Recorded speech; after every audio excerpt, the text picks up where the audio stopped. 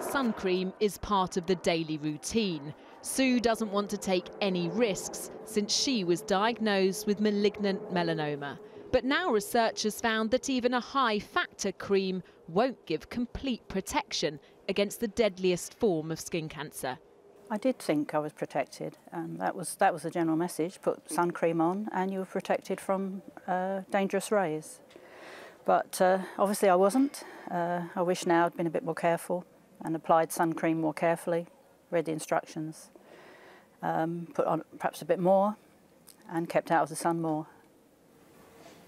I really do.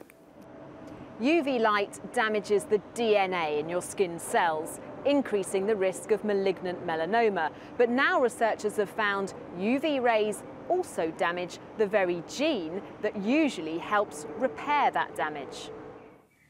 And even applying a factor 50 sunscreen doesn't prevent that. It can only slow down the process.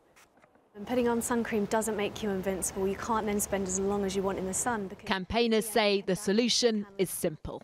During the heat of the day, that's between 11 and 3, try and spend more time in the shade and cover up, wear loose clothing, a hat, sunglasses and pop a t-shirt on.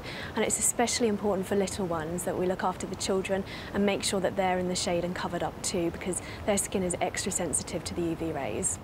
Sue is one of 13,000 people diagnosed with malignant melanoma every year. In fact, it's now the fifth most common cancer in the UK. That's why experts say everyone needs to know the risks. Rebecca Barry, 5 News.